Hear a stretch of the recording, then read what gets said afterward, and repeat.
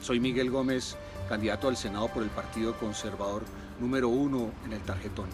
Propongo disminuir los impuestos, bajar el IVA del 19 al 15%, un 1% anual, para devolverle a los colombianos dinero al bolsillo y que puedan ellos gastar y ahorrar.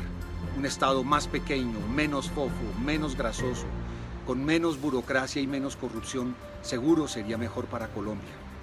Dos, creo que es muy importante crear un Ministerio de la Familia.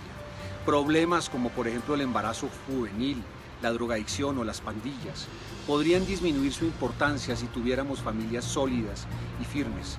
Démosle a la familia, la base de la sociedad, el apoyo de unas buenas políticas públicas que nos permitan mejorar el clima social en nuestras ciudades y en nuestros campos.